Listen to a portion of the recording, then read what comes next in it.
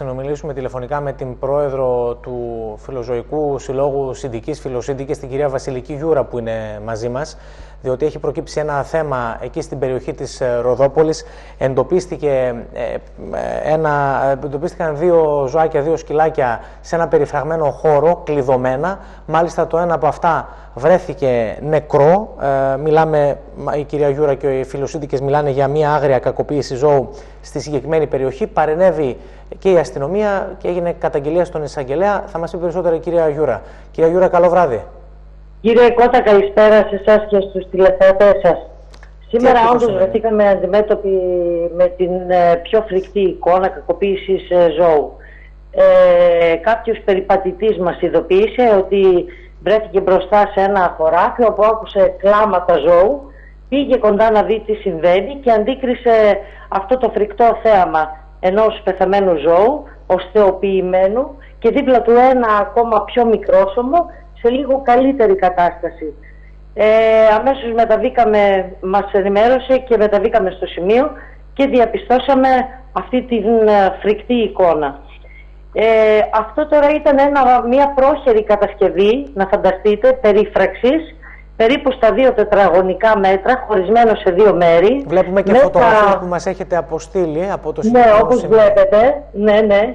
Ε, με άπειρα σκουπίδια και μπάζα και διάφορα πράγματα. Βλέπετε τώρα το ζώο νεκρό, αυτό το οστεοποιημένο, το οποίο είναι πρόσφατα, ε, έχει πεθάνει πρόσφατα, δηλαδή δεν είναι σε σύψη ακόμη. Μπορεί να έχει γίνει και χθες το βράδυ αυτό, ας πούμε. Ναι. Το ζώο για να φτάσει σε αυτή την κατάσταση σημαίνει ότι ήταν χωρίς νερό και φαγητό τουλάχιστον για δύο μήνες.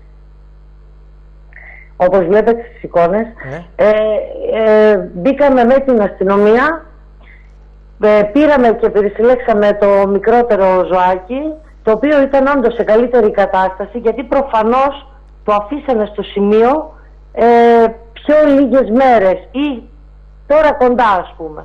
Κυρία Γιούρα, αυτό, αυτό το σημείο που είναι περιφραγμένο, που βρίσκονται τα ζωντανά μέσα εκ των, ε, Είναι μέσα σε ένα αγροτεμάχιο. Είναι μέσα σε ένα αγροτεμάχιο. Υπάρχει ένα σπιτάκι, μία καλύβα, κάτι δίπλα.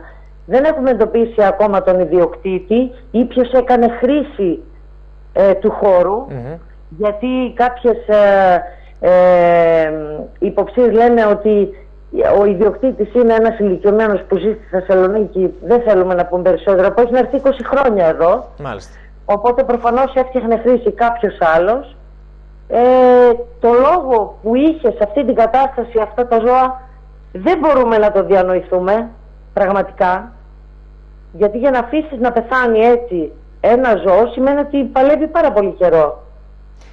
Ποιες είναι οι ενέργειες από εδώ και πέρα, τι κάνατε εσεί. Μεταβήκαμε στο αστυνομικό τμήμα Ροδόπολης, δώσαμε κατάθεση, γίνανε όλα τα νόμιμα, ειδοποιήθηκε ο αντιδήμαρχος ε, της περιοχής, ο κύριος Ζαπρίδης. Ε, αύριο θα πάει το νεκρό ζώο στην κτηνιατρική υπηρεσία όπου ειδοποιήθηκε και αυτή επίσης. Το άλλο το ζωάκι, το μικρόσωμο που ήταν σε καλύτερη κατάσταση, ε, εννοείται ότι μπήκαμε, το πήραμε, του παρήχαμε τις πρώτες βοήθειες και αύριο θα επισκεφτεί τον ε, κτηνίατρο αφού έφαγε και ήπια νερό το ζώο που ήταν σε απελπιστική κατάσταση. Ε, αύριο θα πάει στο κτηνίατρο και θα έχουμε νεότερα. Δεν, έχουν, δεν φοράνε κάποιο microchip στα ζώα γιατί τα σκανάραμε. Τώρα αύριο θα περιμένουμε από την κτηνιατρική υπηρεσία κάποια αποτελέσματα και από τον γιατρό, από τον κτηνίατρο τον κύριο Τόμκο, να μας πει για το δεύτερο του ζάγι που είναι σε καλύτερη κατάσταση. Μάλιστα.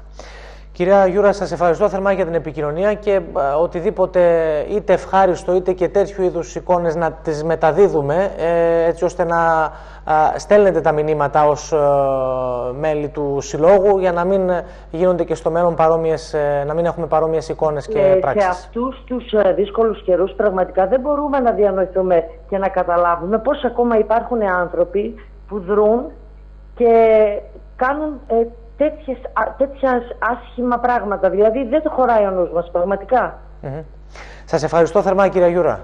Να είσαστε καλά, καλές γιορτές σε όλους. Καλά Χριστούγεννα.